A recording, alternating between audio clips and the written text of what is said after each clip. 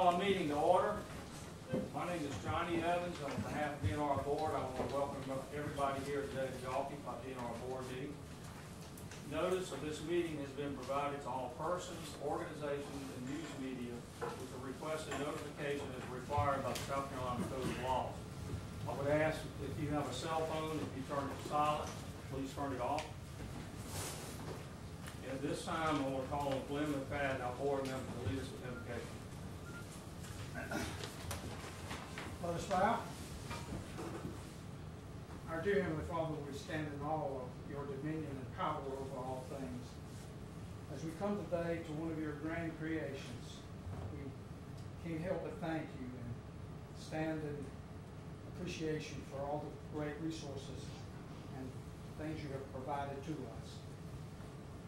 We have people that work hard every day in this area, particularly the people that go into the field and sometimes put their lives in harm's way. We pray that you will always have your protective hand upon them. We pray also that as we get together here today to make decisions, that we'll put aside the things that we want, think in terms of what is best for all people. I'd also like to pray for our soldiers in faraway places that are protecting our pray that you will put your protecting hand upon them and keep them safe. As we discuss the business of this board, we pray that you will guide and direct us. And may the things that we say and do be pleasing unto you. In Jesus' name we pray. Amen. Amen. Thank you. Call on Vice Chairman Chance Payne to lead the pledge of allegiance. Please stand. I pledge allegiance to the flag of the United States of America and to the republic for which it stands, one nation, under God, indivisible, with liberty and justice for all.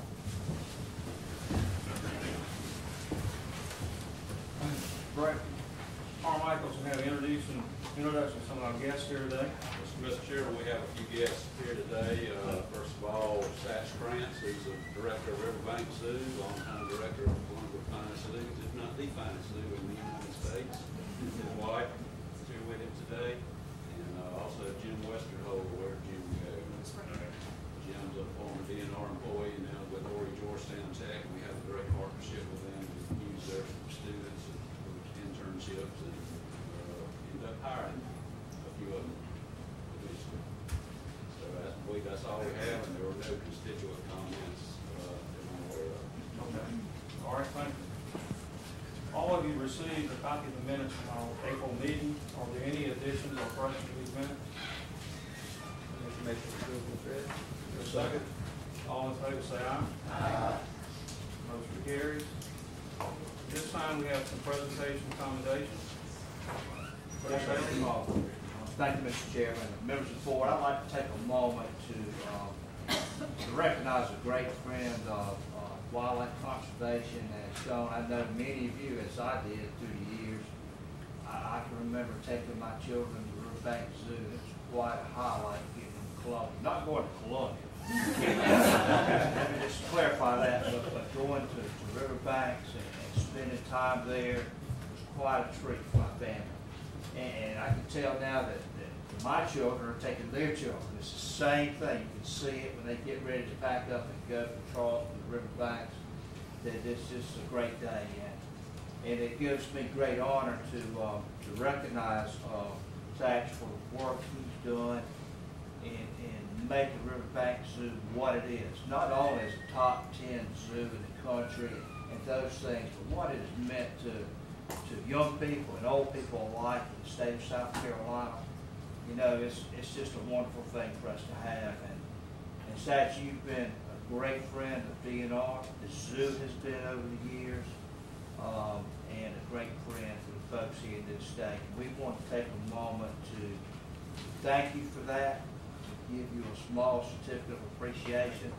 Um, it may be a small certificate of appreciation, but it is a warm and, and, and great thank you for the work you've done there, bringing Riverbank back to Columbia, the work you've done there. So we thank you for that on behalf of the agency and the board, and we have a small, a certificate for you in appreciation. Right there.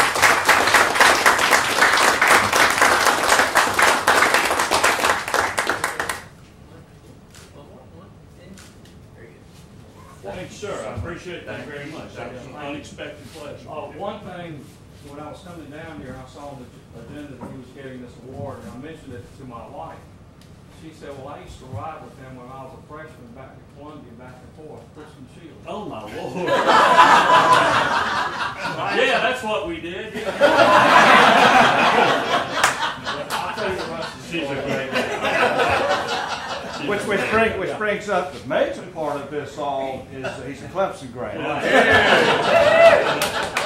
Well, thank you all very much. You know, we, I, I appreciate everything you said, and, and, and the zoo is known for the lions and tigers and bears and the education outreach and all the things we do, but I did want to take just one minute to tell you about something that hasn't gotten a lot of recognition, and mainly because we have not made a big deal out of it, uh, the zoo is a public entity, and we also have a private support organization called Riverbank Society. And about ten years ago, we decided that we needed to get what we call outside the fence. And, uh, so we have, in the, ten- in the past ten years, given out about four hundred thousand dollars in grants, uh, all around the world. And, uh, we tried, uh, when we set it up, we have sort of a, a very loose, uh, rule that half of what we spend will, will have to do with wildlife in South Carolina. And, uh, we've given a number of grants to DNR, I whether you know about that or not, we funded a thirteen thousand dollar study, uh, uh, through Steve Bennett. Um, We've assisted in some research at Congaree National Park down here. We've got a wonderful staff, and that's what I'm here talking about, is not me, but my staff. They do a great job, so. Uh, we're glad to do that. You know, we operate that raptor center at the zoo. Uh, we do about hundred and fifty raptors in there a year. Uh, That's all privately funded, and, uh, we, we just enjoy doing it, I appreciate it very much. Now, I'm here for another reason. I don't know whether Don told you or not, but this is my wife Becky. And that gentleman on the horse with uh, President Cleveland there was her great grandfather. He was, he was the quarantine doctor, Dr. Folk, uh, where this house is right here. And, and this is my wife, and that is her grandmother. and so that photograph was taken either right outside there or right outside there. So she wanted to come back also and see where her family lived uh, at the turn of the century. So what year was that family? I don't know. Somewhere around the turn of the century. Uh, from 1885 to about 1906. So they lived here, uh, literally on the foundation of this house in this picture. Her grandmother, by the way, lived to be 104 years old. Wow. And she was about 10 years old, I guess, when this photograph, or maybe a little older, when this picture was taken. So this is, a, I'm honored to be here, and it's also a coming home. So thank you very much. I appreciate it. Thank you. Also, Mr. Chairman, I'd like to take a moment. Uh, Lieutenant, Lieutenant Billy Danner had his volunteer awards in Columbia a couple weeks ago. Um, Board Member Hutchins was there, and it was a great event to recognize volunteers that carry out the, the work of Hunter Ed Tomo, and, you because they're true volunteers, they're giving their time to take those programs and make them the best they can. He gave out a couple awards. One was Bruce Compton of Lexington, who got the William W. Matthews Take One, Make One Award as a volunteer for work he does with youth around the state. Um, Getting them involved in a TOMO program, and Jack, Jack Truesdale, who's been recognized before for this group, by the way, of Kershaw County, uh, being given the Volunteer of the Year Award as well in, in education area. So both of those, both of those men work in our education area, our total area. Their families are involved with them. They have the children, some of the children there that were involved in carrying on that work that they've done over the years. They have a true love for you this day. And they show it in what they do every day going out. So I just wanted to bring that to the board's attention. And it was, uh, you know, something that Billy started three years ago, maybe three or four years ago, recognizing volunteers. And uh, we had a great turnout, and it, it was a great event. These two men were recognized, just want to look forward to that. Oh, thank you. That is great. The, uh, education and youth and volunteers, we just can't say enough to thank them all across the state. Uh, now we have our advisory committee reports for the governor's uh, bill fishing series. I think David Whitaker's gonna get a report from Robert.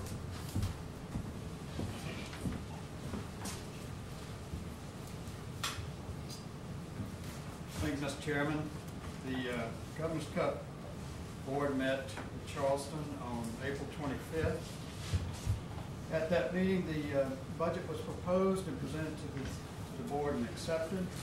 They also uh, accepted the annual report for two thousand twelve, which I believe you're gonna uh, look at later on in the agenda. And among the items of interest, they uh, appropriate or uh, allocated fifty thousand dollars to the Charleston Deep Reef South Carolina Memorial Reef, which will uh, be forwarded when, when that reef is under construction. When it's been finalized, ready to go, they will uh, putting that money forward. Uh, it's- As you know, it's with Harry Hampton right now. Um, There are two nominations for the new board, and those are forwarded to the DNR board, I believe you're going to take those up later. Uh, Board members that, whose terms expired included Chairman Ed Holder, James Shannon, and Rhett Spencer. Their next meeting will be August 29th at Fort Johnson. Uh, Any any questions? Any questions? Like mission kicks off. Oh, yeah. Well, this, uh, this is the twenty-fifth anniversary of the Governor's Cup, and everybody's very excited about, about moving along. It Starts off this week, I believe. uh. Tomorrow. Um, next we have a saltwater recreation fisheries report. Okay. The uh, Recreation, Recreational Fisheries Advisory Committee met at Fort Johnson on May fourteenth. And this meeting was almost totally devoted towards uh, reviewing the revenues from last, the current fiscal year, projecting next year, and passing a budget for uh, expenditures in saltwater license then.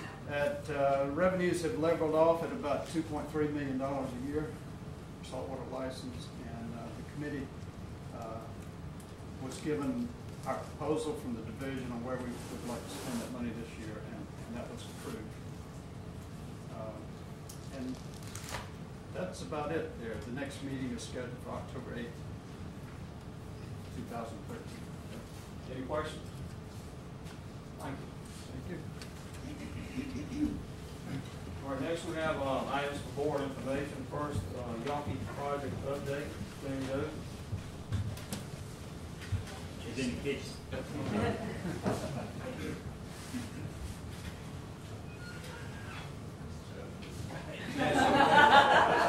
He's not. Why don't we, uh, why don't we go to Bob White quick? We can. There you go. Uh, No, you know, Uh, Good catch. was they getting it? They're getting them. Okay, we'll just wait. That's fine.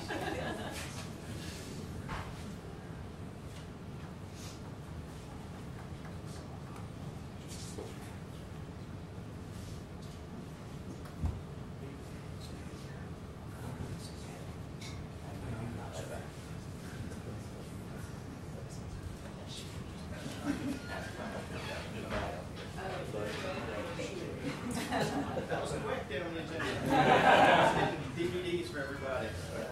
Okay. Jamie, we already introduced you, so we're looking forward to your presentation. Thank you. Give y'all a short presentation on uh, Yawkey Wildlife Center and just a little bit about where you're at. I know some of you have been here before. Some of you have uh, not had an opportunity, so just want to uh, give you a little idea about it. Um, we are at Tom Yawkey Wildlife Center. And uh, just to show you, you came across the ferry right here. Gonna travel back and we're sitting about right here now. This is a Cat Island part of the property, South Island, Sand Island, and then North Island. And all together, it's about twenty-four thousand acres in size.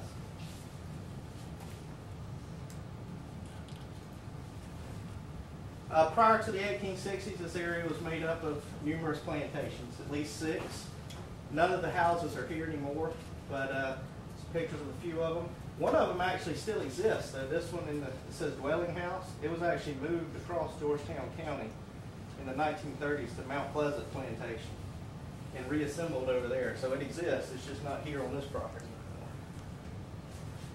Out in the uh, 1870s, General Edward Porter Alexander, who was a former Confederate artillery general, um, who led uh, Lee's artillery, bought the property, and he used it as his home. He lived just a few hundred yards down from here, wrote several books here, um, kind of had a pay hunting operation, and uh, had a lot of guests come over. And then in 1906, he sold it to the South Island Gun Club. And the gun club had quite a few uh, distinguished guests over the years. This is the photo he pointed out earlier with her grandfather in it. General Alexander on the side, President Grover Cleveland on the far side, and Dr. Folk in the middle. President Cleveland came here about 15 times while he was president to duck hunt mainly.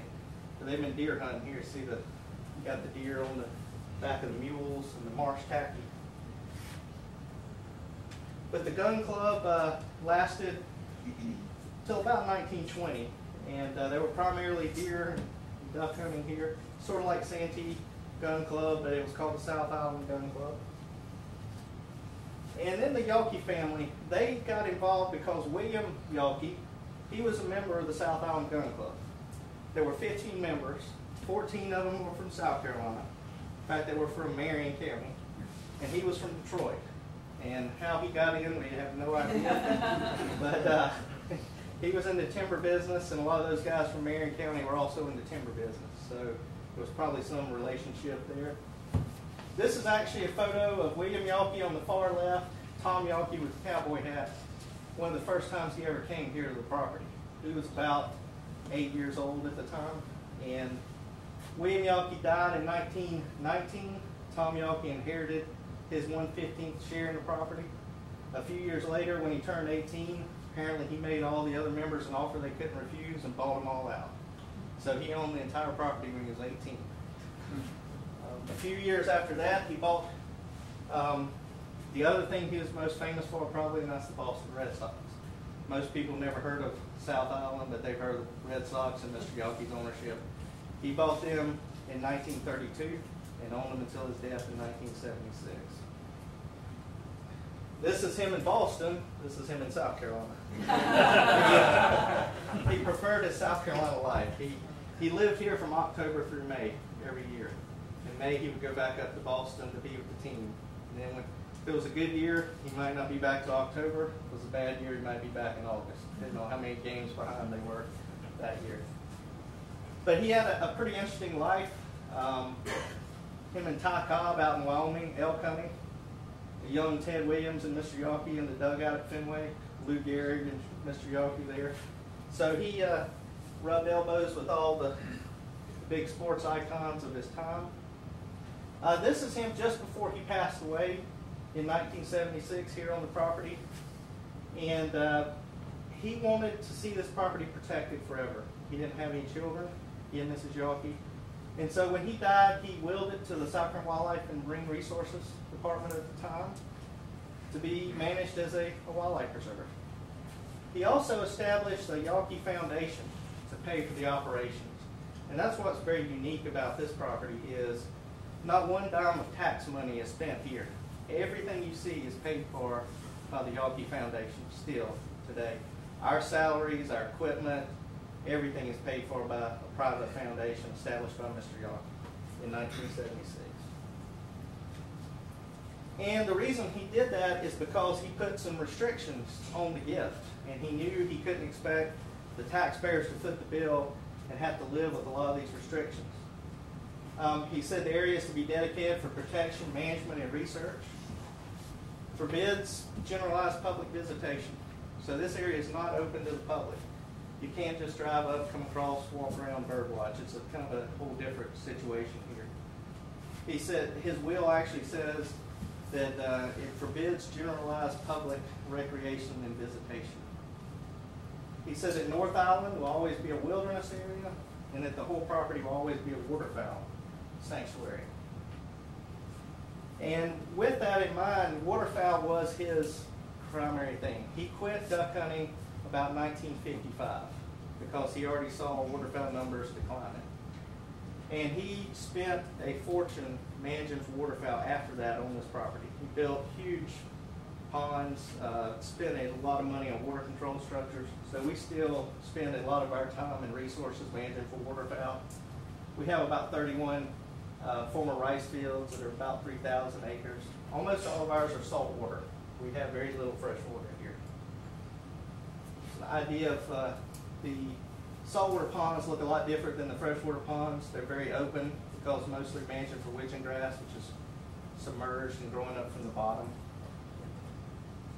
But because of our saltwater conditions, we have a lot of unusual species that also use the area, like American avocet. We have about a thousand avocet who stay here typically most of the year. Also about fourteen miles of beachfront on North and South Island together.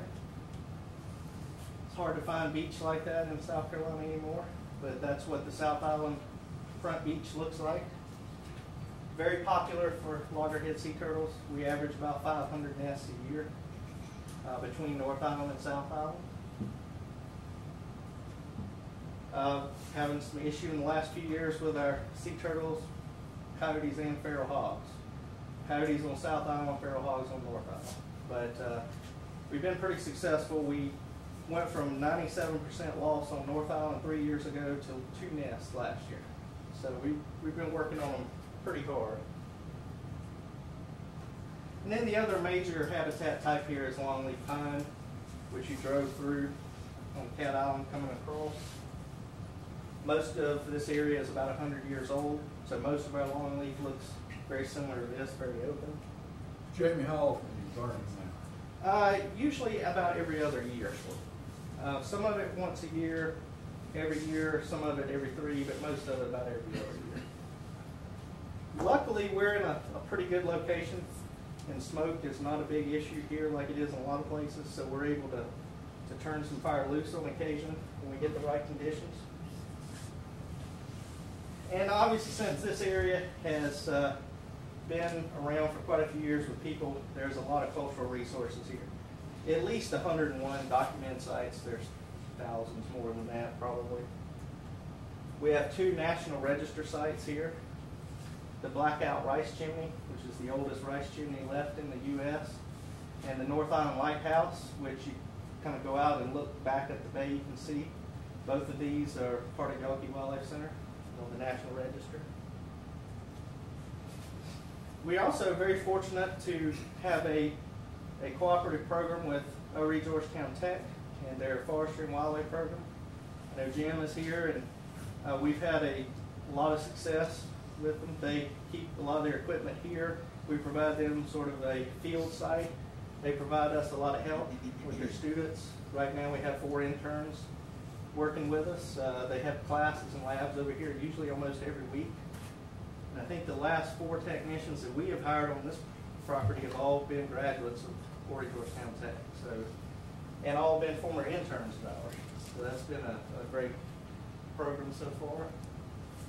They do a lot of hands-on learning. Get to do things like burning, which is hard to get experience doing anymore. You can't find many places to get hands-on burning experience. Let them help put in water control structures. In fact, two of the that were interns there in that photo are now DNR employees as technicians. So, and the other big thing we have here is research. Um, we're very proud of our research programs. We have uh, 12 different research projects going on right now. One of the biggest is the uh, Alligator Project, which is a cooperative program with the Medical University.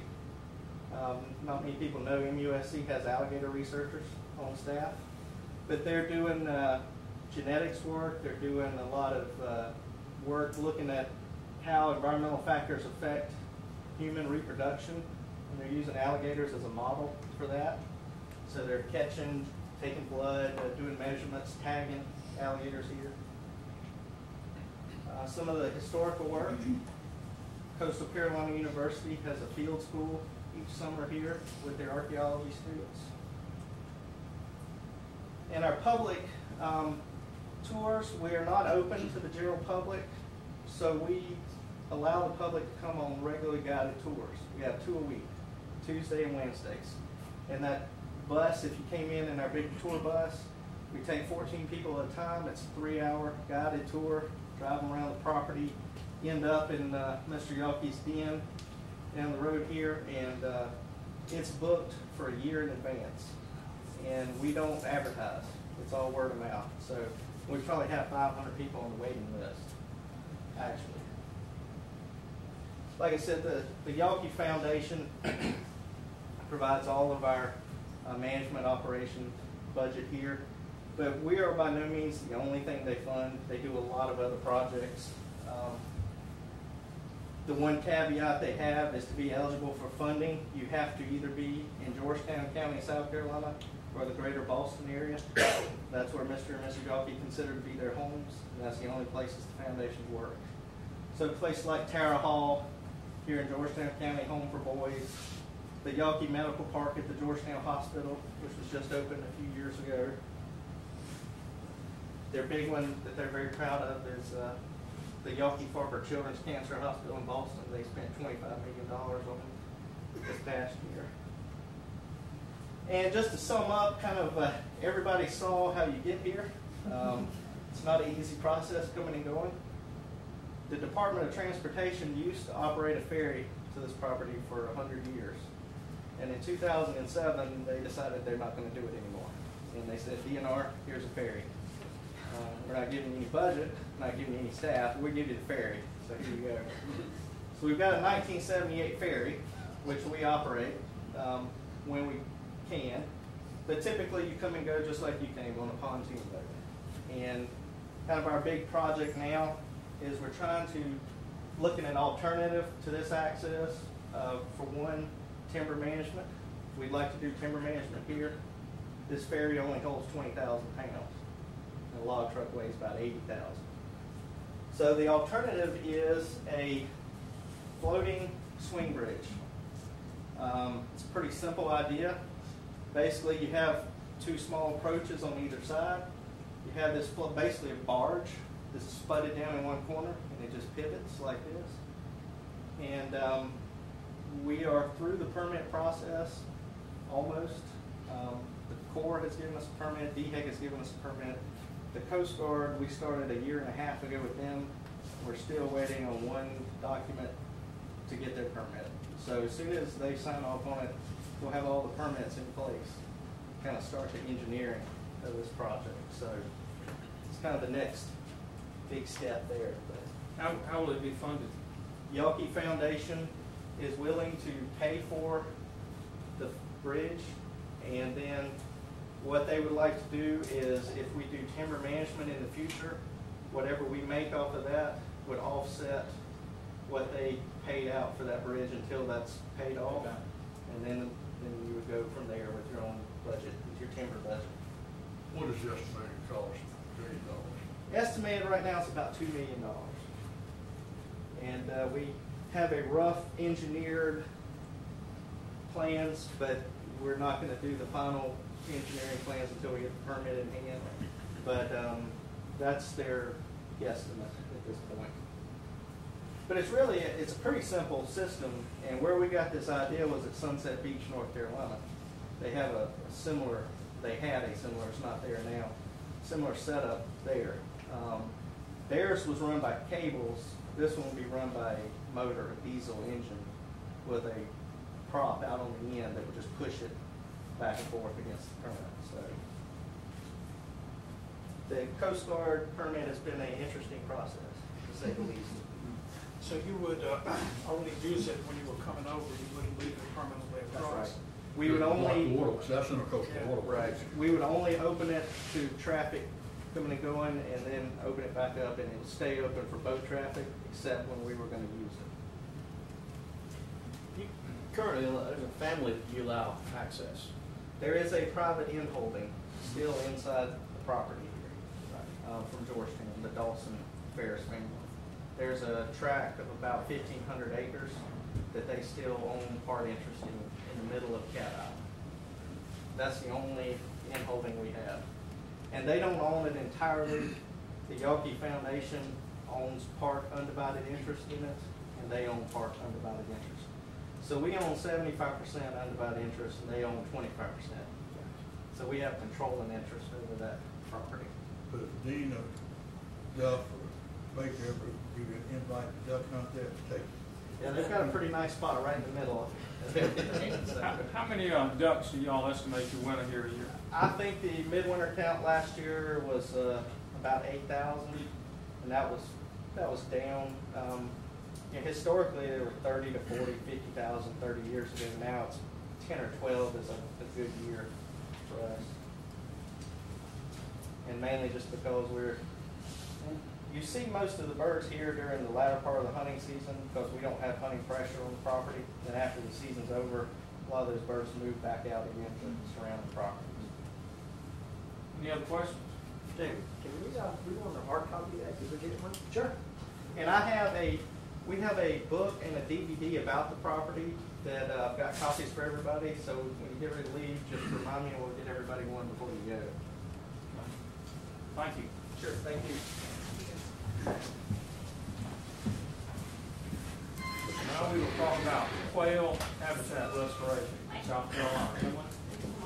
Um, as the board will recall, sometime back, I had Billy Dukes come out and, and talk to you guys a little bit about some quail habitat restoration plans that are going on and some things that we were gonna try to do in South Carolina. And so today I've asked Billy to come back and tell you what we've done and, and explain what our next steps are. But before he gets started, I'd like to announce to the board that Billy has just been promoted. Billy's been with our agency, what, what, nineteen years? Um, started out as a small game fur bearer biologist, and, um, for the past few years has been leading our small game project. He is the small game project. And, um, as of May sixteenth, we have promoted Billy to Assistant Chief of Wildlife. And so he will be working with Tim Ivey and learning everything about what Tim Ivey is doing and, and trying to help ensure that upon Tim's retirement down the road, that we don't miss anything and we continue, um, keeping things flowing for our staff. So we're very excited about Billy being on board. He brings just a wealth of knowledge and good partnerships all across the United States. So I'm very confident he's going to do an outstanding job.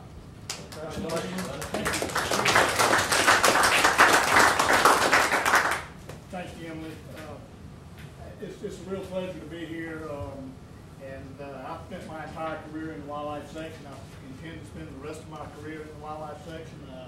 Well aware of of the challenges and opportunities that we have uh, moving forward, and I'm I'm looking forward to to- to tackling that. Um, Today, I'll be talking about something that I completed in my former job as a small game project supervisor. As Emily said, I've only been in the assistant chief job since, uh, since uh, last Thursday. But um, this plan was drafted in response to a board request from March 2012 asking us to, asking the small game program to develop a habitat-based restoration plan bobwhite white quail in South Carolina. Uh, You do have that draft plan in your board packet, and um, also the executive report of the the NBCI, the National Bobwhite Conservation Initiative. Uh, If I refer to the NBCI generically, please excuse me, I'm so used to using that terminology, but it's the National Bobwhite Conservation Initiative. And what you have is the executive report, and the NBCI is the Unified Strategy to Restore Wild Quail. Uh, Basically, it is a twenty-five state or range-wide plan for restoration of bobwhite quail, of which we are a part. Um, Please note that the, uh, that the uh, web address for the NBCI is www.bringbackbobwhites.org. There's far more information on that website that I can possibly present to you today. Uh, but please take, a take a look at that if you, uh, if you get a chance at your leisure. Also, you've got the uh, NBCI business card with that web address and also the, uh, the Singing Bob lapel pin, courtesy of the NBCI. Um, with that, I'll talk a little bit about, about the plan. Uh, the plan itself is only twenty-four pages. Uh, I think you'll find it's chock full of information. Uh, it's very pithy, I guess you would say. Uh, but it's twenty-four pages, including, literature cited or references. And, um, just to talk a little bit about what the plan contains, contains the history of quail, quail management in South Carolina, uh, the history of quail population in South Carolina, and quail planting efforts in South Carolina. Um, it also, you know, you'll notice in the title, it's entitled Challenges and Opportunities for Quail Management, and because we have a lot of both of those moving forward with quail management in South Carolina. Um, then you kind of get into the meat of the plan, which is the population objectives and proposed focal regions for quail restoration. And, uh, using what's called a biologist ranking information system, which is the product of the NBCI, uh, the plan identifies about nine point one million acres which have, uh, uh, moderate to high potential for quail restoration in South Carolina. That's a tremendous amount. It's a tremendous task, and it's only gonna be tackled in a stepwise progression. But the uh, current population on that nine million acres is just over twenty-three thousand coveys, or about one, one covey per three hundred and ninety-four acres. Um, that is a low quail density. That is below what most people, most biologists consider an acceptable density. It is certainly below what a quail hunter would consider an acceptable density for quail. Uh, the target population in the plan is about eighty-four thousand, uh, six hundred coveys, which would be about a fourfold increase. That would get us back to about where we were in the late seventies or nineteen, or early nineteen eighties. Uh, it's not what it's, not gonna be what it was in the late fifties or early sixties, but, uh, most people that have been around the quail game for a long time would recognize that things were a lot better in the seventies and early eighties than they are today. So that's, uh, that's a target. And I would, I would also mention that these densities, both the estimated current density and the projected managed density are more or less hypothesis to be tested. Um, they're based on the best available information, on some monitoring data that we've had over the years, but also based on what we've seen individual properties do, uh, under different management regimes over time. Um, also, the plan identifies quail, four quail focal regions. These focal regions are broad landscapes. They're typically six to nine counties. Uh, they were identified based on that biologist ranking information system, which again identified areas as, these were essentially the areas that contained the most acreage of medium or high potential for quail restoration. Those four focal regions are the Pee Dee focal region, the central focal region, the south focal region, and Piedmont focal region. Um, then on pages nineteen to twenty-one of the plan, we kind of get into, uh, the meat of the plan in terms of the strategic objectives.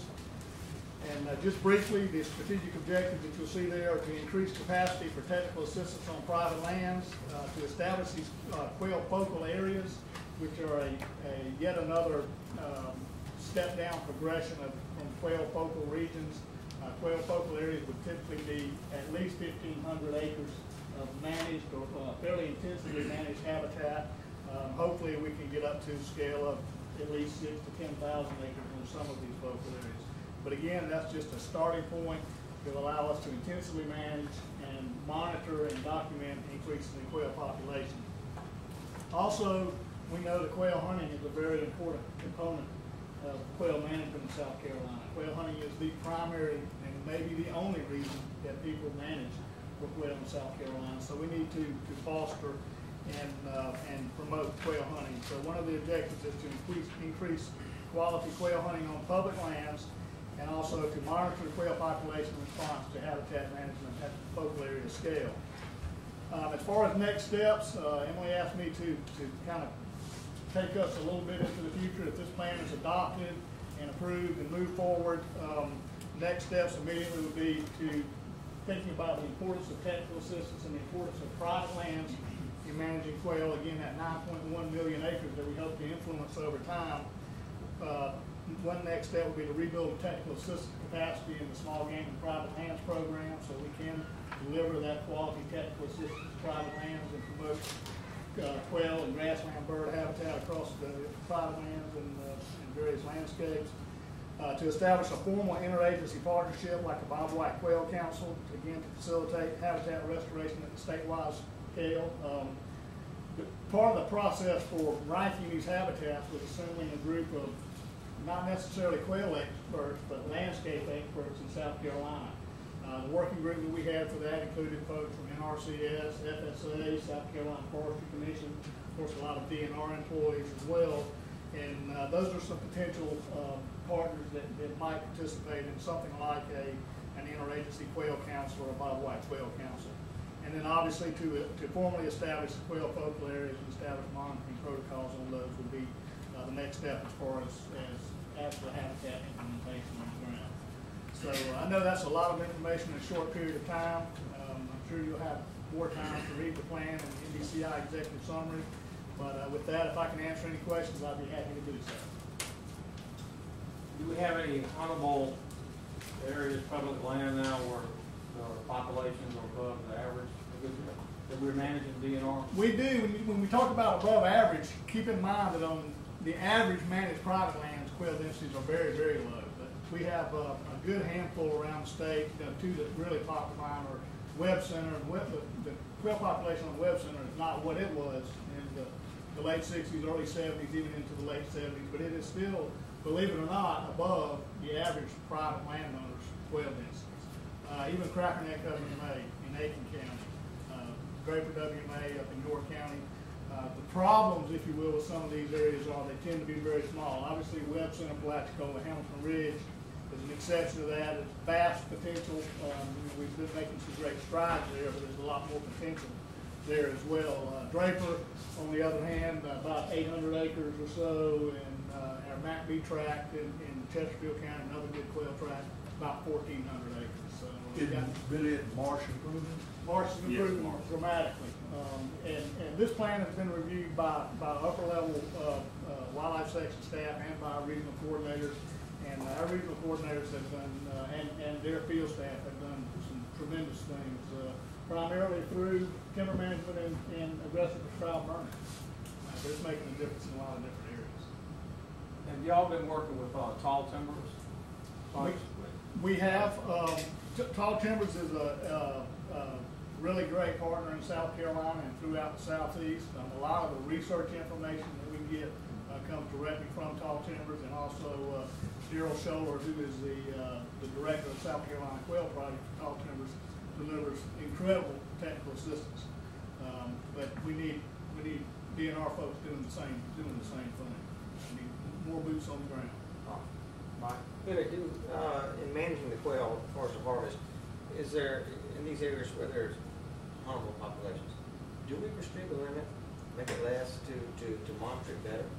Our statewide limit is still, still twelve birds. On a few of our areas, we have limits that are as low as eight. Uh, we've tried various different, um, strategies for limiting harvest over time.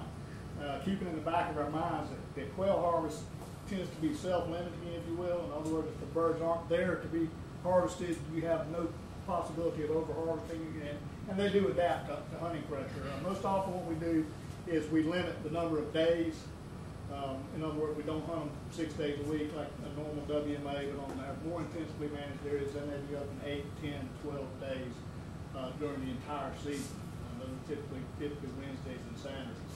Uh, because the average daily bag for a hunter is so low, further restricting that bag would do little to, to limit the harvest. In other they're harvesting less than two a day, so you'd have to go below that to result in any, any savings. But, uh, an important component of that too is monitoring the population from year- to year. And, um, you know, we, we do set, at least in our minds, what we would consider an ideal or maximum harvest of about twenty-five percent. We don't even approach that on any of our harvests. One thing I'd also like to add to the board, um, let the board know, we will be backfilling Billy's small game project leader position immediately. Um, and also, we're gonna let that person kind of carry it. We used to have two people in our small game program. Our small game program also used to be funded through state appropriated dollars and through retirements and budget cuts.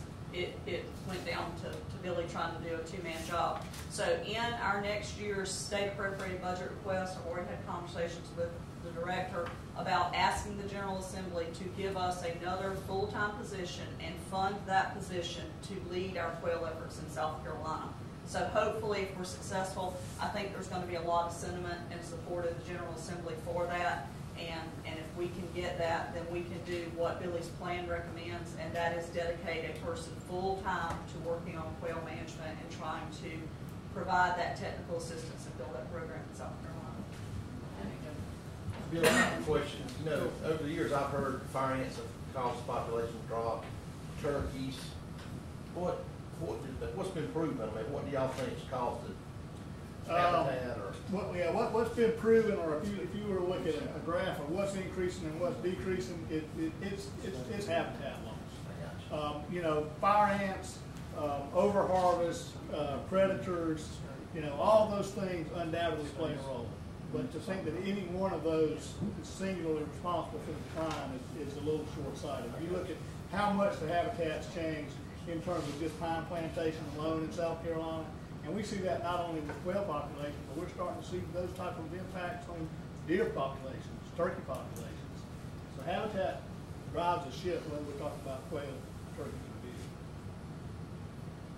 One question. Um, one thing that's been brought up is about supplemental feeding of different properties, and I know it's been, uh, to the agency, been a lot of, um, discussion with it, and y'all might share with what kind of plans are with, with that.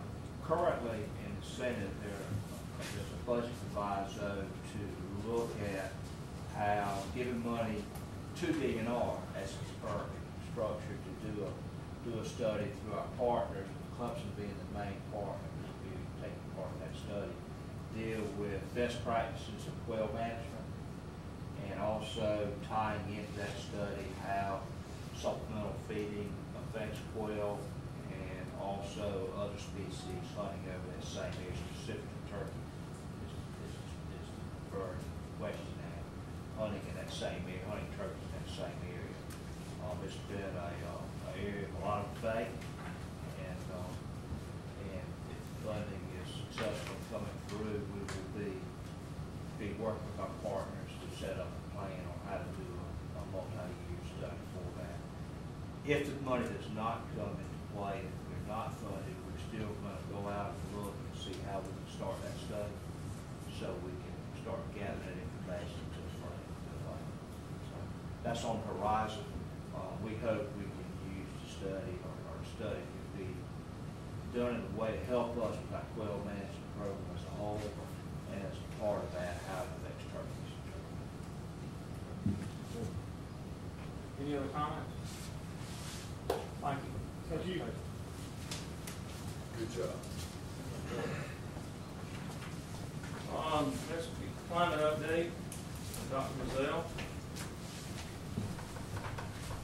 I have a few handouts here. I also have a presentation uploaded.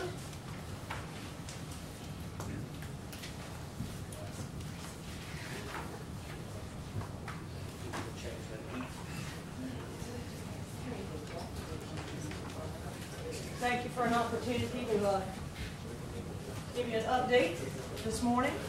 Uh, The first photo there on the, on the cover there and on the projector is the actual Congaree National um, Park, otherwise known as the Congaree Swamp. It hasn't looked like much of a swamp over the last 10 years, and that was on May 8th. So actually, uh-oh, I'm going to need a, do it, is the clicker here? I don't think I can. You'll, thank you, that'd be helpful.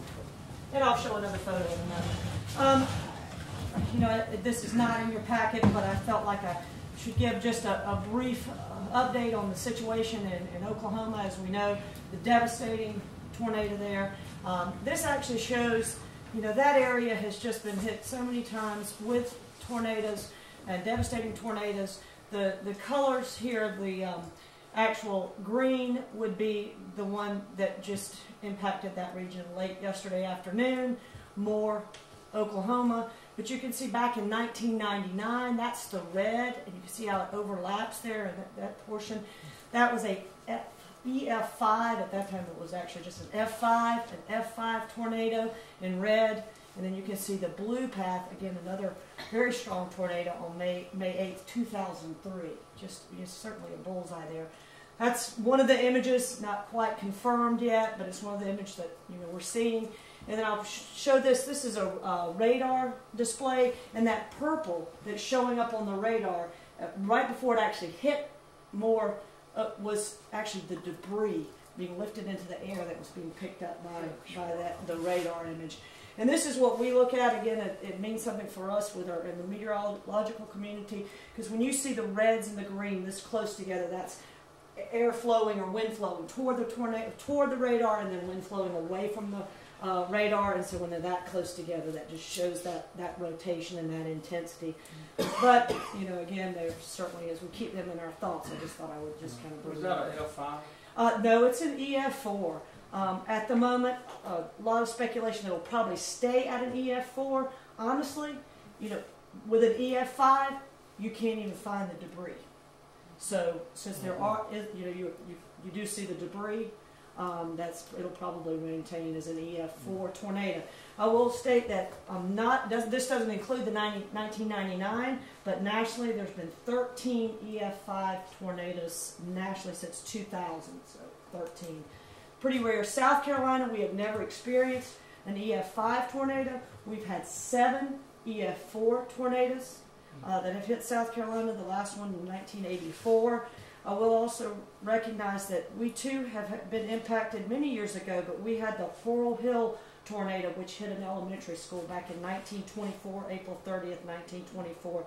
Still our highest loss of life caused by a tornado was 77 deaths, 778 injuries. So, all right, yes, go forward. Now, an update on rainfall. This 30-day percent of normal rainfall ending May 20th. You can see this wet pattern has continued for almost over half the state. The, uh, you've seen it obviously in inches here. We have eight inches um, in the last 30 days in Spartanburg, Greenville County. Anything in green there would be about an, uh, over an inch. Um, and then it was a little dry. It has been a little drier, um, but this area in here is getting the rain over the next few days. So very close to above normal rainfall that we're continuing to experience. Temperatures, we all know again it has been a very cool spring. A lot of folks kind of want to talk to that groundhog that projected that uh, that it was going to be an early into winter because certainly that has not been the case. This shows Brookgreen Garden. That was the closest site that we have with a long-term record to here. Going back to 1958, this is the mean, the average mean temperature from March 1st to May 20th.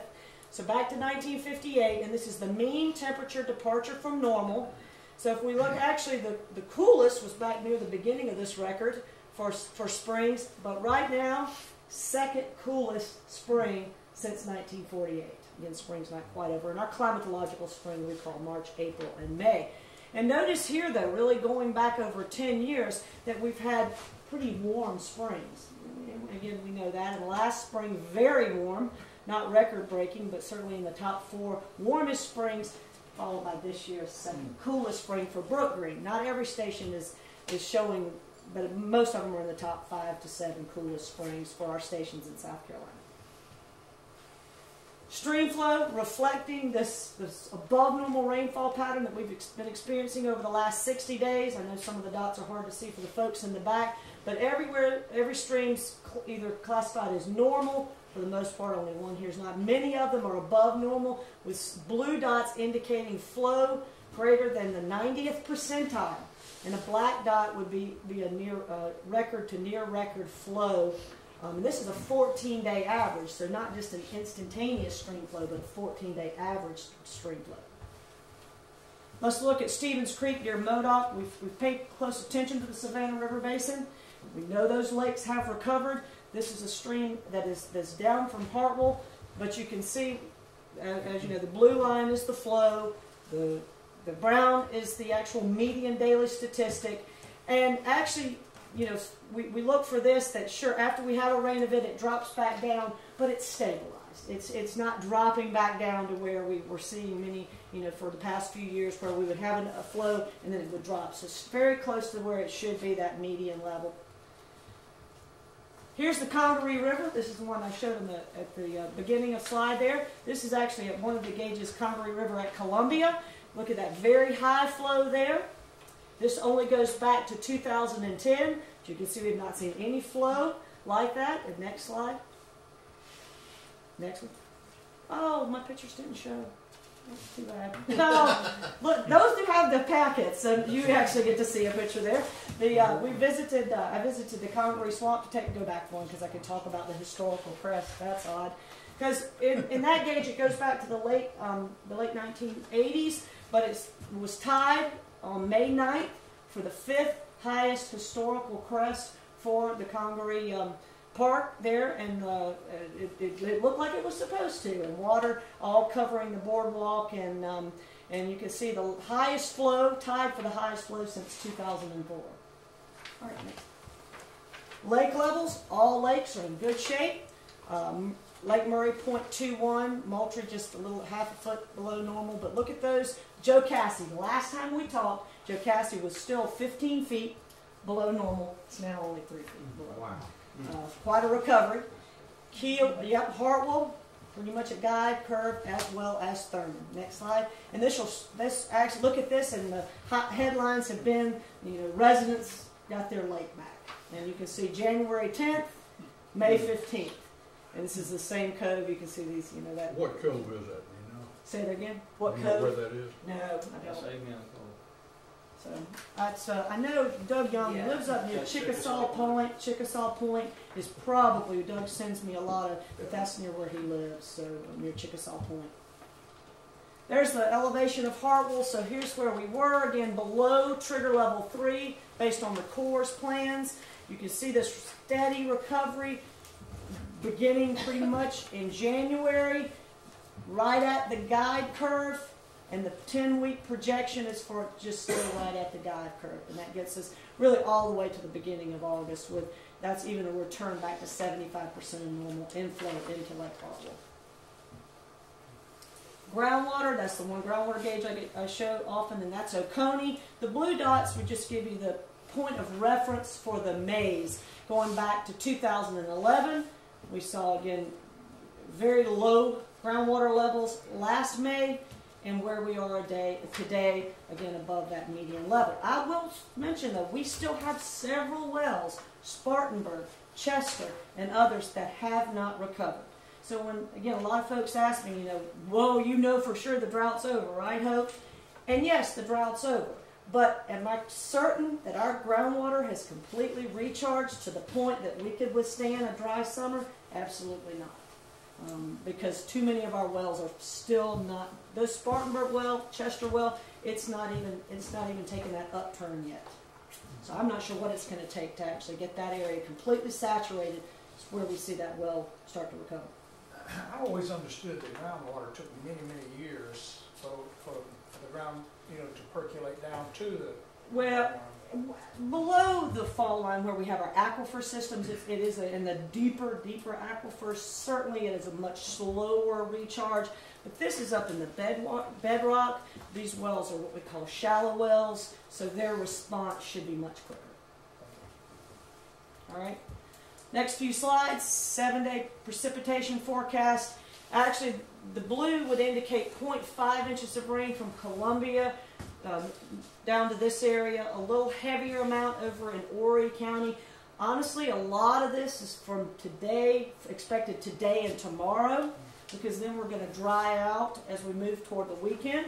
And I'll go ahead and mention that for Mr. Pulliam and uh, for the weekend of forecast. Uh, the rain chances are going to continue from today, really, all the way until we can get this system to push out of here on Friday morning. I know winds, you know, Thursday, right now they're calling southwest 15 to 20. You know, seas, again, me that. I know. Well, remember, this is a long way out, and there's one thing we're, the meteorologists are good at is being wrong, so uh, we'll count on that. But right now, that's going to be the bumpiest day we see. This, this front's going to push on out Friday morning. That's what we expect. Still, Friday's winds are still pretty good, 10 to 20. Um, and then the Saturday, Saturday looks uh, nice with west shifting though west to northwest after this front moves through. Um, five to ten winds on Saturday. So, and your rain chances will be out of here for sure by Friday morning. Those thunderstorm chances is something we may have to be aware of. But you know, I'll I'll make sure I keep you updated. Thank so, here's the eight to fourteen day outlook. Above normal temperatures, which many of us are probably ready for, a little bit of spring.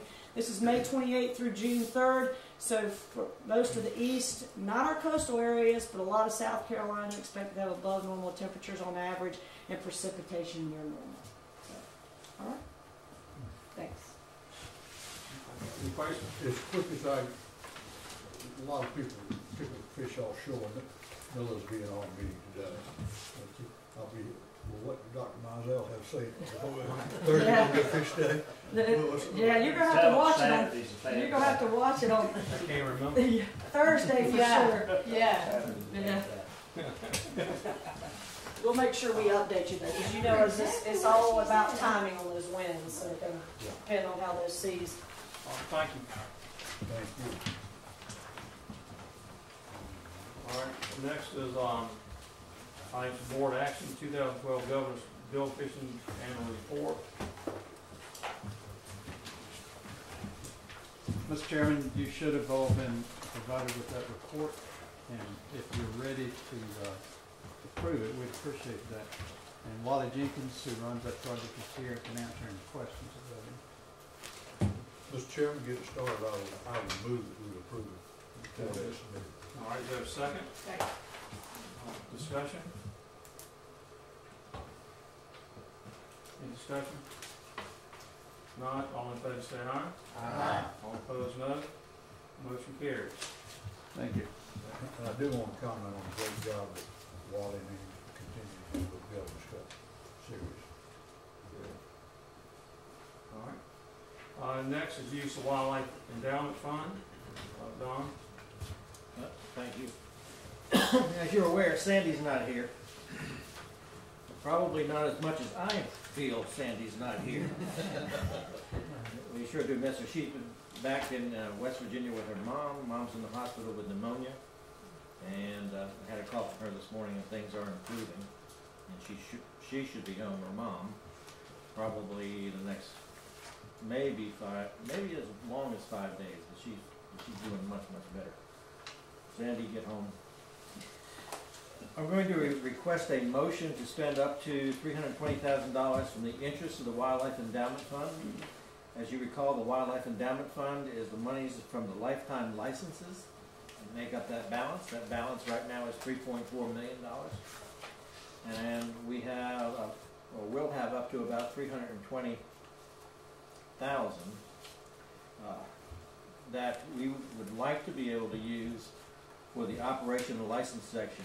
Now, we started coming to you as a board in two thousand and nine, so this will be the fourth year we have needed to use this money to, uh, help with the licensing operations. Is there a motion, um, to use three hundred twenty thousand of interest from wildlife endowment fund to be used in the, um, what was it, operation, Operation license for a license operation. license operation? Make motion. Uh, is there a second?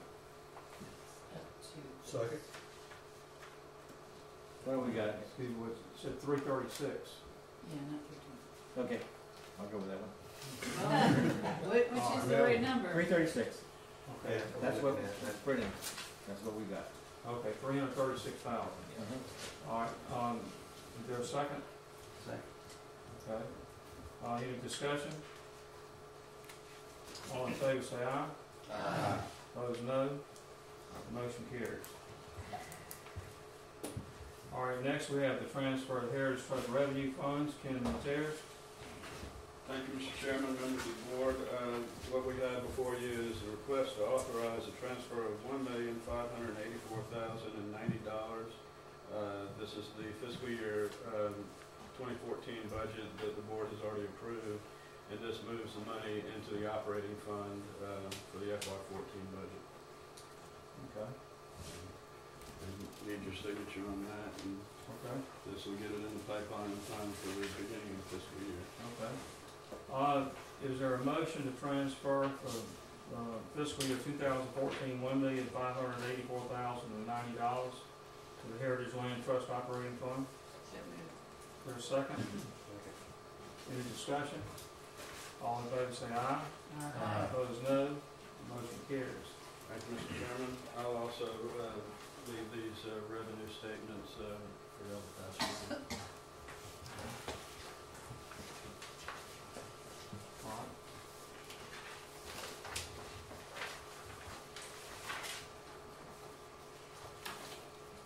I really look forward to receiving these, because the way that money comes from these stamps gives you a real good idea what's happening in our economy in this state. Makes you feel all right. It's good to see it improving. No, y'all just got them there. Any, anybody have any questions on this? Okay.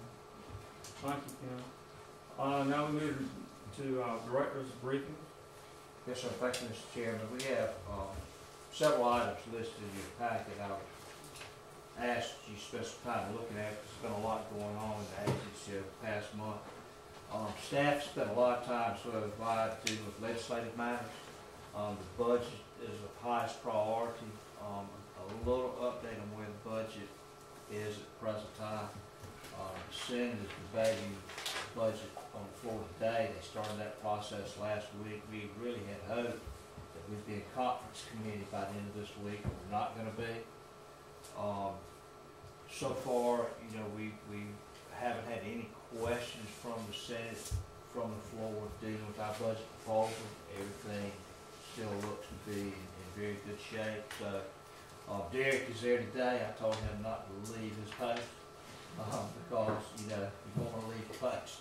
And, and, but things are going well. We've gotten a lot of positive response from all members of the General Assembly, both House and Senate, on our budget proposal for the year, so we're cautiously optimistic that that's gonna continue through, um, through the process. The only barrier that seems to be there now is how General Assembly chooses to fund roads and bridges. You know, whatever plan they come out with that will determine whether there's any effect on the rest of the state budget. And so that's the debate that will probably be taking place this week before they finalize the budget. And it, it could go into before Senate budget is finalized. So that's, that's where we are there.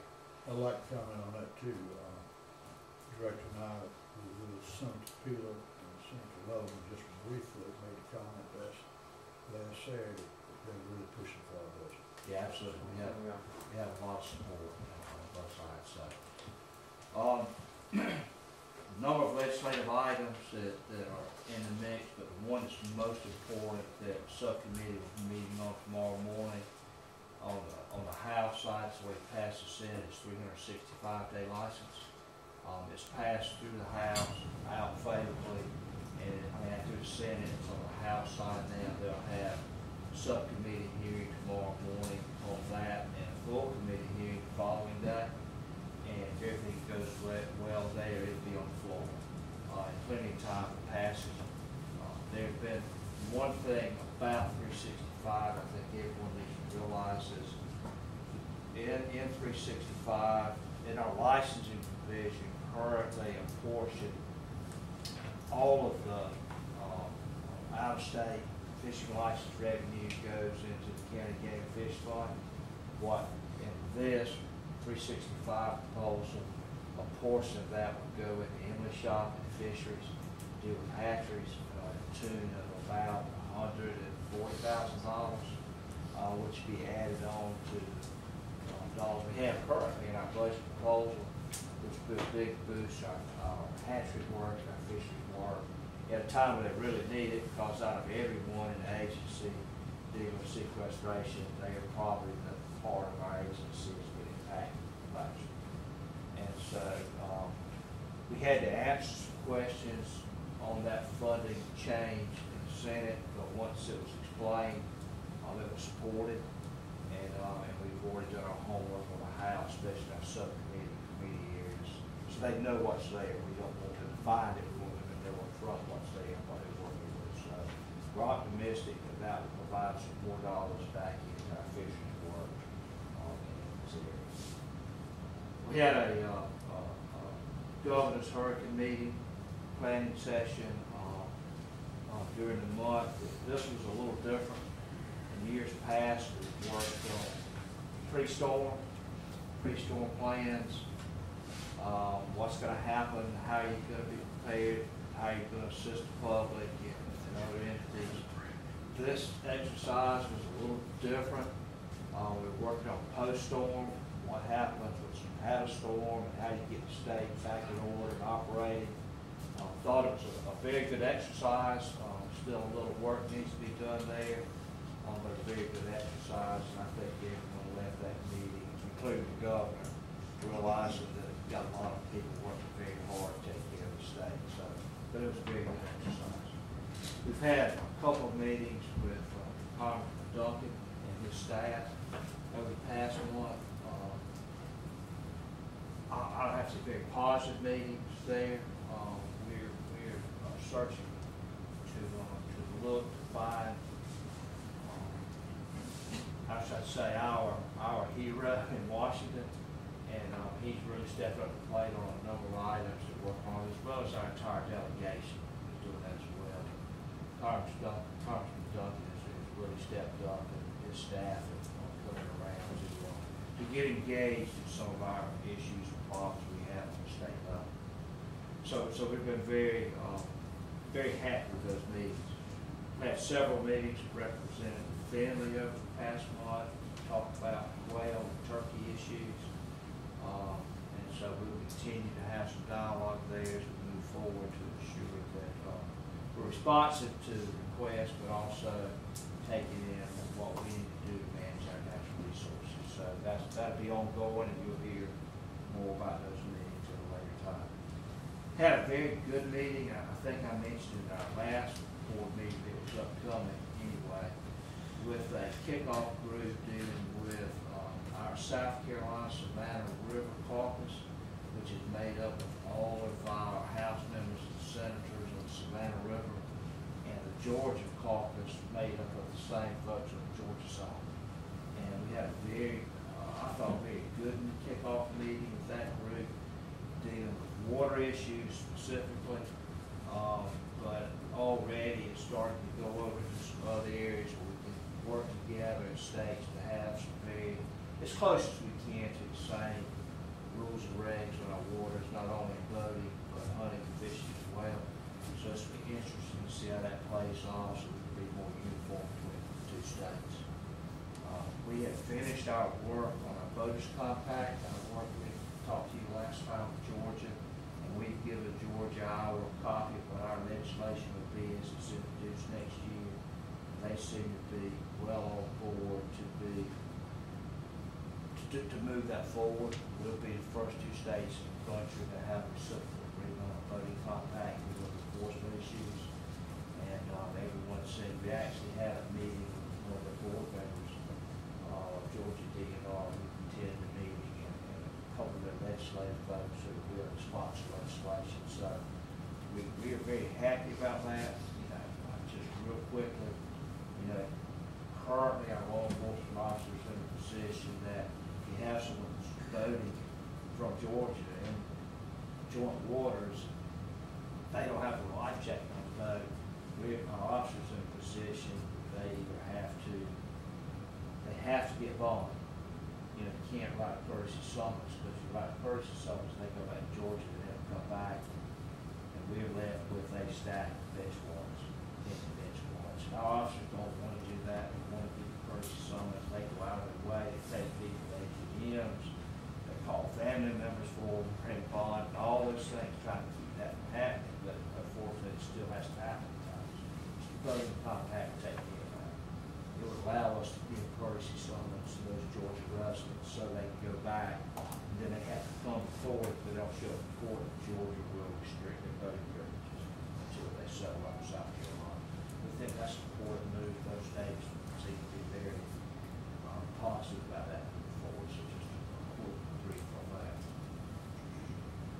Um, there, there are many other things, most of one is Mr. Penn, General Assembly, uh, with legislations, uh, either on one side or the other, trying to steer legislation as it gets through the final month of the General Assembly and, and keep right and hurry to keep it up to date on our budget. But Other things we mentioned here, I would advise you, as you look through this, if you have any questions, please don't hesitate to call.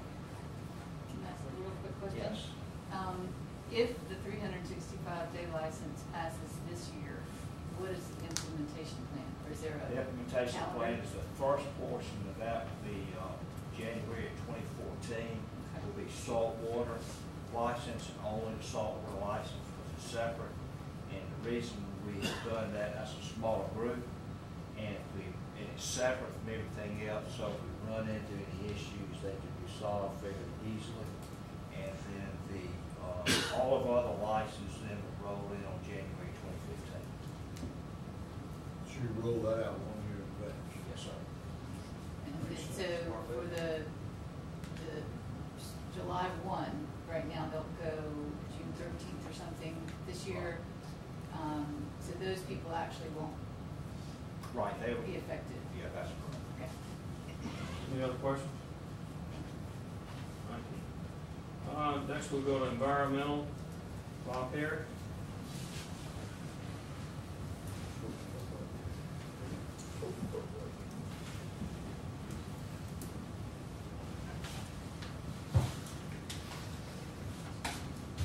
Mr. Chairman, board members, and Director Taylor, I wanted to touch base on seven projects briefly. Uh, Hope has already mentioned the recovery of the Savannah Lakes, uh, and Thurmond, uh, at a slightly different version of the same figure that she's provided. Uh, We're gonna stop, we're gonna stop including this in our environmental report because we think that this has recovered to the point to where it's about passed out of the realm of the Savannah River Basin Drought Contingency Plan and its evaluation. We have been getting a number of calls from folks in the Savannah River below the lakes who've indicated that they have some concerns about the continued low flow, the drought flow from Lake Thurmond. And what Corps of Engineers has done is, they've done something that they have not done in the past. They are relying on a provision that gives them the flexibility to maintain the lake levels at a high level during the spawning season. Drought contingency plan defines the lake spawning season beginning on April eleventh and running well up into June. So I think even though the lakes are high and we're out of the, we're well up above the drought contingency plan flows, there is that provision to stabilize lake levels so that fish spawning in the res- reservoirs is not impacted quite as much. Second issue is, uh, we, we we briefed you uh, orally last time about developments with the Haile Gold Mine project, reduction of impacts of about twenty-five percent to wetlands and thirty percent to streams by reconfiguration of the uh, footprint of the facility. Uh, We submitted a letter to the regulatory agencies on May seventh relative to that. That letter is included in the packet. It's appended to the report.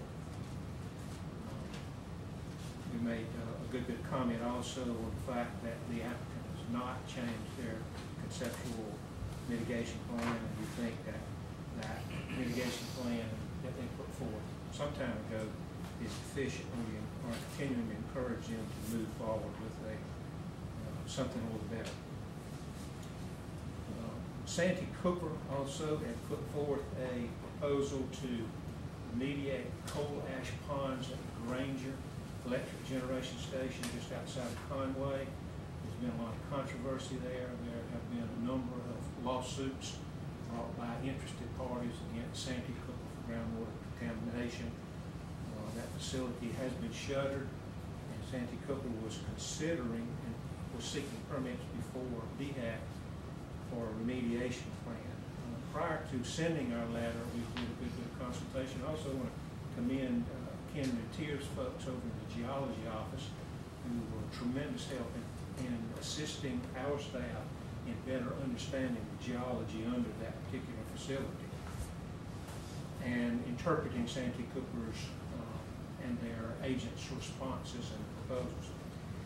Um, We did a good bit of consultation, and coordination with Santee Cooper before that letter went out, and it turns out that uh, it looks like Santee Cooper is proposing to seek an alternate solution at some point in the future.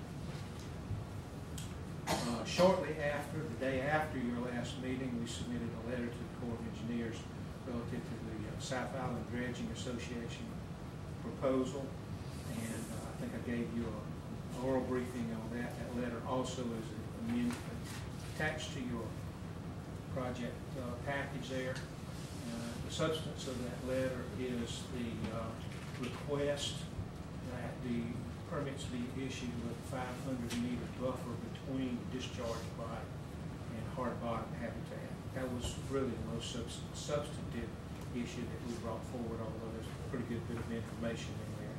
Uh, And we think uh, that was very reasonable and worked with both DHEC and the project applicants, agents on a better understanding. The Georgetown Economic Alliance is a local entity here that is interested in trying to do what it can to increase the tonnage of the port of Georgetown so that it would better qualify for federal funds. Uh, You will remember that about a year ago, Coastal Terminals Incorporated out of Charleston proposed a midstream anchorage facility here in Winyah Bay. Be within eyesight of where we are now. Be a fairly substantial project in footprint, and it would be for the purpose of bringing ships in just inside the jetties, just inside the bay here, and offloading and un- and loading cargo on barges and then moving those barges to, up to the port of Georgetown. Coastal Terminals backed away after the Corps of Engineers indicated that they would not process their permit until they obtained a waiver of riparian rights from the Department of Natural Resources. The Georgetown Economic Alliance took up this project and they performed an alternatives analysis. They first proposed the same site as a primary preferred location, and they've come back with a second site as an alternative location. And the Corps of Engineers has written them the very same letter that they must contact the Department of Natural Resources and request a waiver of riparian rights. That letter that came from the Corps of Engineers to Georgetown Economic Alliance is also included in your packet. What was the second site? The first site the first was site. proposed to be on the uh, northeast side of the ship channel adjacent to North Island. It would be, it would literally be feet away from the, uh, from North Island. The second the alternative site, they've come across the ship channel and they are now, they're adjacent South Island. So it's on the uh, south side of the ship channel now is the preferred lo- location. So they've essentially moved their riparian rights issue from North Island over to South Island. And it would be ve- Jamie, I think would tell you that it's very, very close to where you're sitting right now. Uh, Next to the last item I wanted to bring to your attention is the, uh, at your last meeting, I gave you an- an oral briefing on the Savannah Harbor Expansion Project Settlement Agreement. In your packet today, I have uh, summarized that in a little three-page summary. Uh, Director Taylor and I have met with some members of the General Assembly, so we assembled that package for them, and I've included it in your summary, so uh, it's, it's a little more carefully spelled out. Lastly, I wanted to bring to your attention that we continue to have a, a number of issues relative to sand scraping and minor beach nourishment as a result of erosion in dynamic inlet zones, and particularly at Isle of Palms and the south tip of Garden City. Uh, we've worked very hard to resolve these issues with the applicants and with uh, DHEC, and some emergency orders have recently been issued. Uh, we do not believe that there will be turtle issues associated with these projects because the, the uh, beach is essentially a wet beach with very little dune, and the impacts will occur over a very short period of time.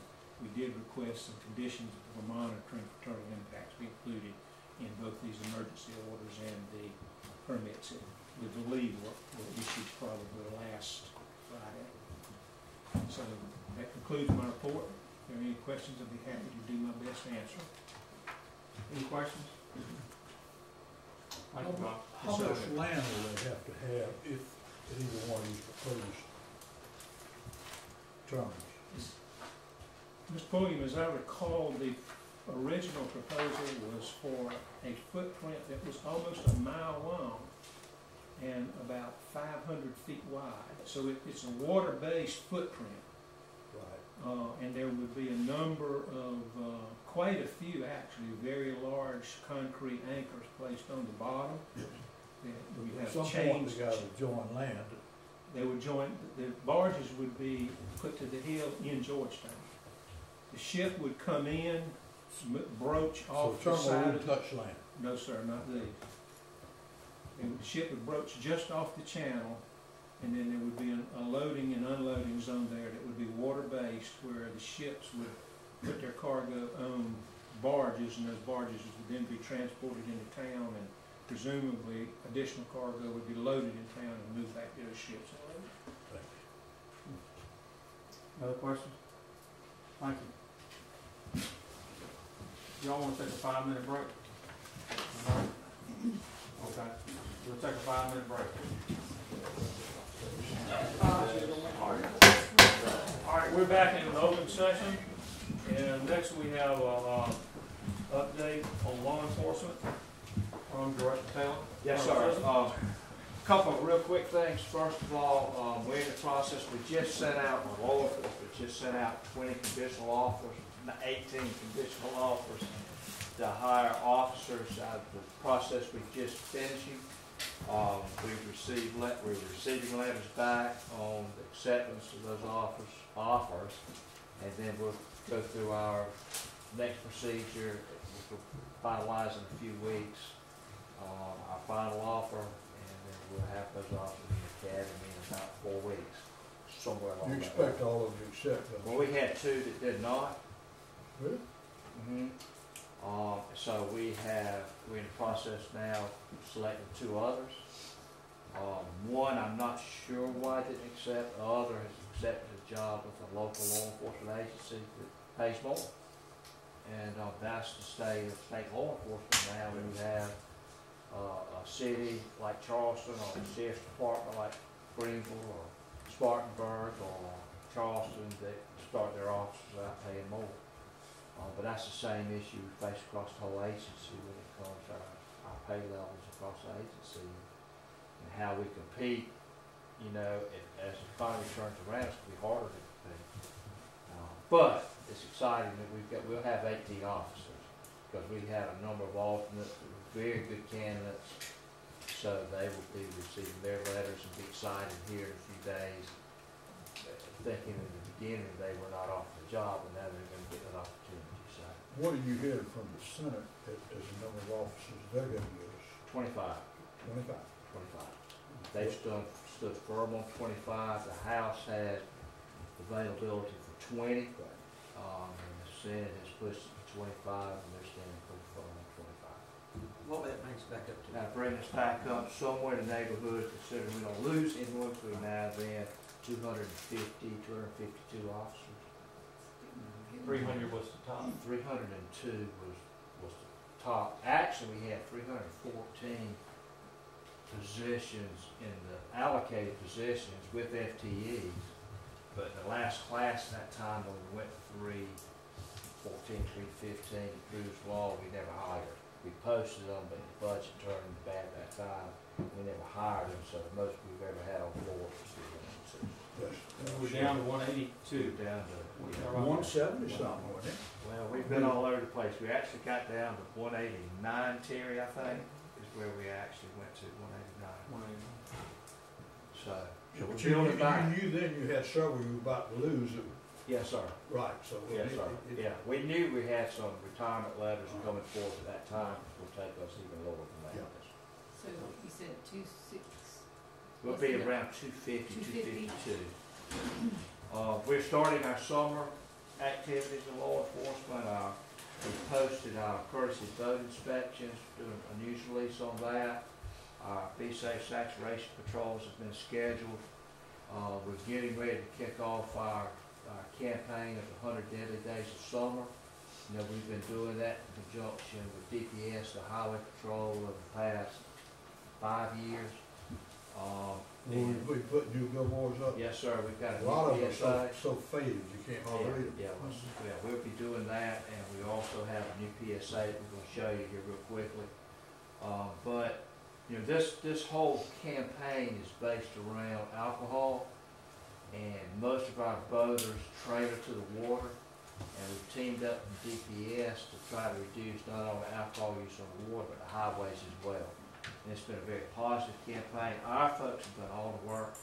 DPS is three letter year, we tell them that. Uh, But they can help us get playtime on TV as well. Uh, But our guys in-house have done a fantastic job on these. Uh, Everything we produce on the hundred daily days of summer, we do, our, our employees do, and they do a heck of a job. I mean, they just really do. Sometimes we take for granted. We know what's coming is gonna be good. We just take it for granted. That they do do all public mistake. They do of a job. And so we've got both of our PSAs. We're gonna show you the DPS one as well. Uh, we were able, uh, Coach Spurrier did these for us this year. Uh, But, uh, but, uh, but he did a great job. He really did a good job on the PSA, so we show you. Gonna have that one next week.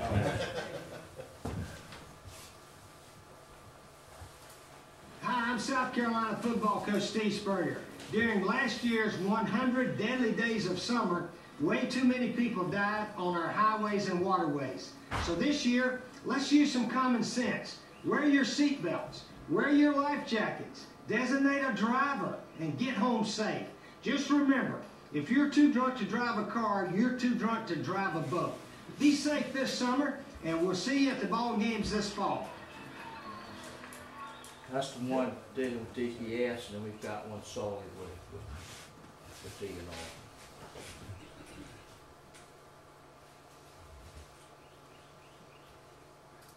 Hi, I'm South Carolina football coach Steve Spurrier. Last summer, we had way too many people die on the water here in South Carolina.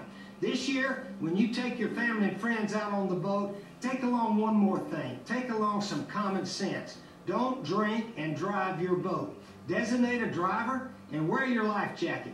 Let's make it through the summer safely so we can see you at the ball games this fall. Good. A little shift from what we've done in the past years, dealing with focusing on the accident side of alcohol and drinking and those things to, to this comment. We just thought, we we're very grateful he gave us his time to do that, and, um, We got a little plug. yes. And, uh, so, but it was just good. They'll start airing this weekend. They start airing on TV this weekend. That's good marketing to have a positive, we, we wanna see you. So, anyway, those are two items, uh, want to brief you on law enforcement. Okay. Colonel Frampton. He's at the chief's meeting, uh, this week, that's one to go to the chief's meeting. Okay, thank you. Any questions? Uh, outreach support services, Don?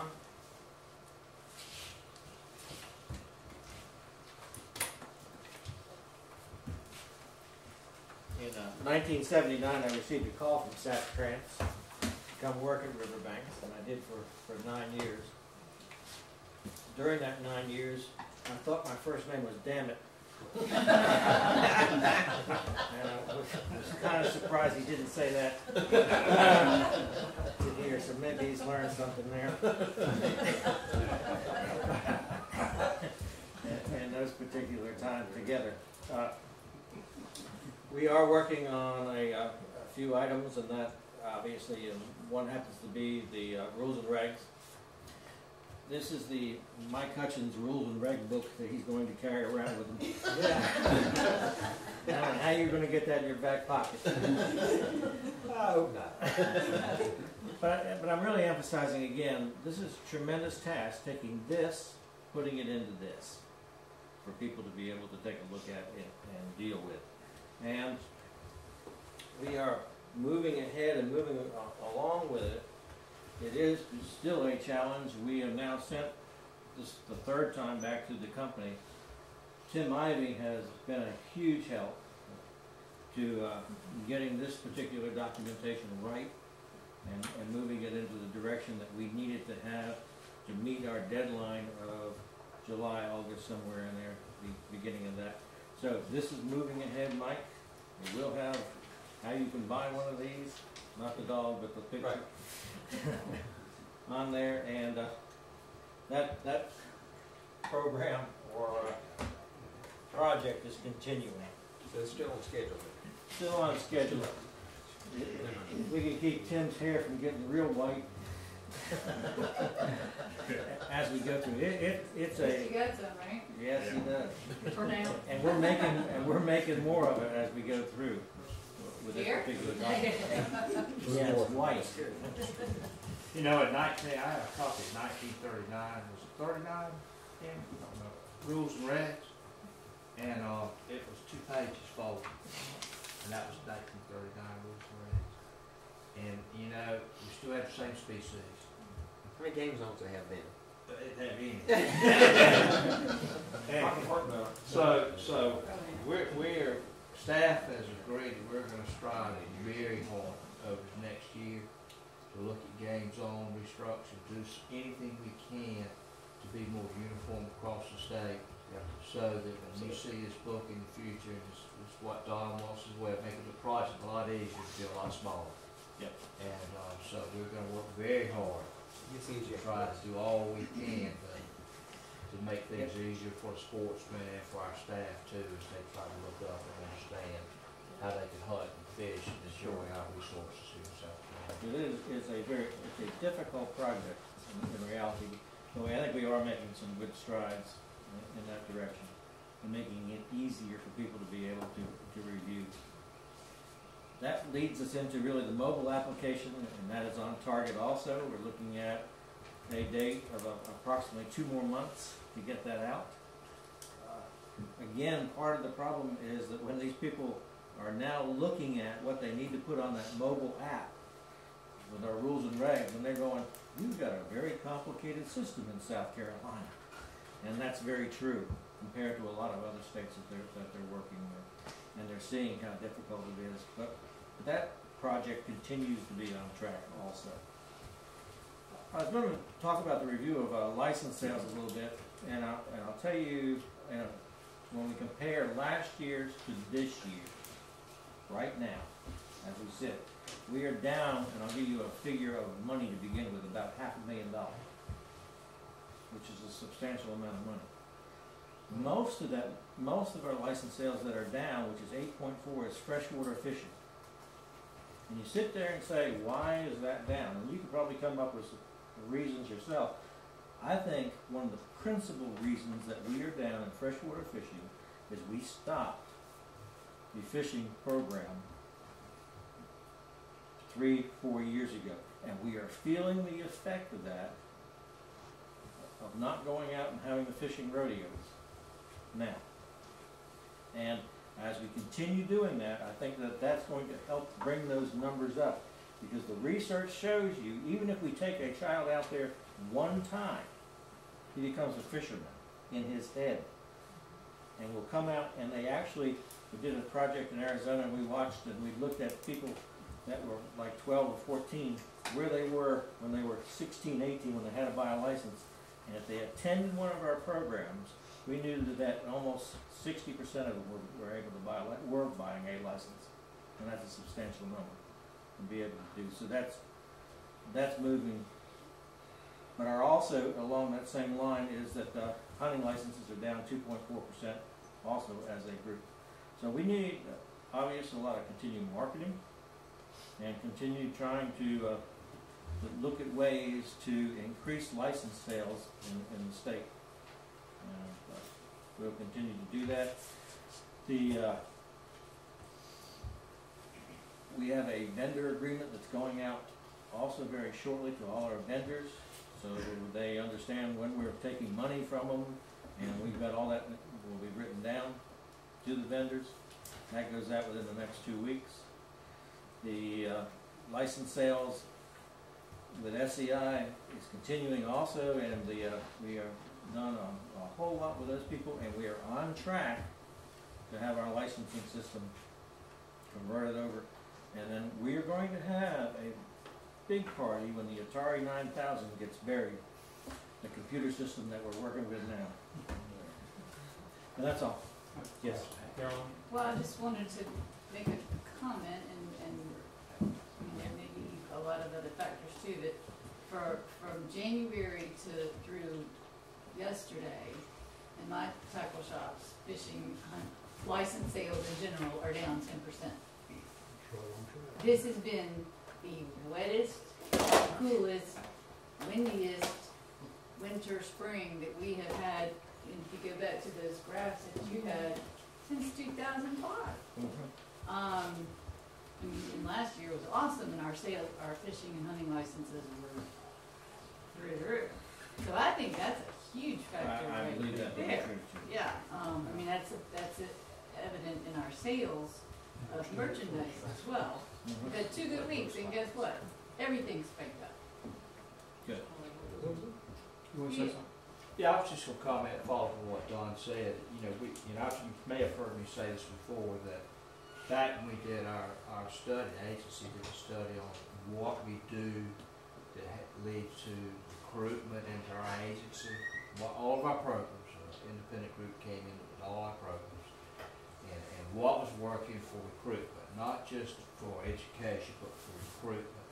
And the number one thing that came back with was fishing. And it was the one thing we were doing that was causing someone to go out and buy something to participate in that, number one, by far. And, uh, and I think Don's right, we cut fishing rodeos right after that, stopped doing it. And I think, um, Mr. Lowe can tell you that if you look at where fishing rodeos now, and one we just had in in Darlington County, it's just, it's unreal how young folks are turning out our fishing rodeos. And, and it will pay dividends down the road, because we all remember catching our first fish. And I think it's important that, that's why we're looking at money for hatcheries, for state lakes, for all those things in this year's budget, so we can get our fishing, um, uh, push out to the public as much as we can, because anyone can go fishing. It doesn't matter where you live, or who you are, or what your status or economic condition might be, position may be. You can find a place in this state to go fishing. And so we're trying to not take away from anything else, but push that in this year's budget as much as we possibly can. How long ago was it, did the program on hookworm fishing, not on drugs? That was all part of our, our rodeos, that was a part of that But whole that was program. effective. Yeah, I should see mothers everywhere with it, bumper stickers on the car, dropping kids off at schools and things. Well, Like Alvin said, we had, uh, Darlington Radio was last Saturday, we had three hundred and nine kids show up, it's double from last year. Um, the board furnished the food, and had a lot of great volunteers. And, uh, Mr. Alan Holloman, uh, nice enough, he's got a, like five fishing ponds, he's in the bait business, and lets us use those facilities, that was a, it was a great thing. I think we need to thank you, because you were the board, you paid for No, everything, the board- them pay The for it, so board, you, the board. you give us the recognition to food, uh, thank We you. were, we were, did, a- they did a good job. All the game wardens had biologists there, it was a really good thing. That's good. I took my grandson to the Sunrise Lake, and, uh, that's the first time I'd ever been. And he told me, and I've taken him fishing in the pond, and he's caught brown, and he's caught bass. But he went there and caught his first catfish, and told me it was the funnest day of his life. Any other comments? Thank you, Don. Thanks, Don. All right, uh, comments from board members, Randy? Glenn? Gary? Carolyn? I think I've said enough. Mike? All right, Johnny, real quick, last meeting I missed the executive session, Mr. Chairman, excuse me. And I understand you brought forth a proposal I'm introducing from Cody and Pikeville. And, uh, I got something, uh, recently from Utah where their pound, bounty's paying off and doing well. I understand we're looking at that from a liability standpoint. So, uh, I'd just like to make sure we get, a- get some feedback on that next meeting. Absolutely. Okay? Okay. Uh, Norm? Good. Okay. Um, I just wanna say that Jamie, your staff, I just wanna thank you for getting ready for us, all y'all did down here. and Just riding over the property, looks like you're doing a very good job. Y'all being here. Thank you. Um, is there any reason for us to go into executive session? Yes, sir, we have personnel issues and legal issues we need to discuss. Okay. Is there a motion to go into executive So session? moved. Is there a second? All in favor, say aye. Aye. Uh, let the minutes reflect that no actions were taken during executive session. Are there any motions to be made? Uh, Mr. Chairman, yes, I have a motion to approve Conservation District Commissioner appointments and reappointments as presented to the board, um, on the slate dated February fifteenth and May twenty-first of twenty fifteen. Is there a second? Second. Is there any discussion? All in favor, say aye. Aye. Opposed, no. Motion carries. All right, Mr. Chairman, I- Mr. Chairman, I'd like to make a motion to approve the recommendation from the Governor's Cup Billfishing Series Advisory Board for the appointment of three new members, Chris Jennings, David Sykes, and Harry Johnson, and to reappoint two existing members, Greg Smith and Peter Roy. Is there a Second. second? Second. All right. Any discussion? All in favor say aye. Aye. Opposed, no. Motion carries. I have one, Mr. Chairman. We have five people serving on the Law Enforcement Advisory Committee whose terms have expired. And those are Terry LaCroy, Bert Watson, J.B. Squires, Dr. Ingram, and Knox Hainsworth. In addition, we would like to recommend that those those five be reappointed to a new three-year term. And the second part of the motion is, we had three members whose terms are relatively new would expire in September. So what we would like to do is have them reappointed to a three-year term, but effective when their terms expire in September. That's my motion. Is there a second? Second. Oh, I didn't name those three. Those three are Dwight Frierson, Bill Farrago, and Rodney Red. Red. Okay. Uh, there discussion? All in favor say aye. Aye. Opposed, no. Motion carries. Any other comments? Uh, our next meeting will be on June the twenty-seventh at ten o'clock, and a location to be determined. Uh, with that, our meeting is adjourned.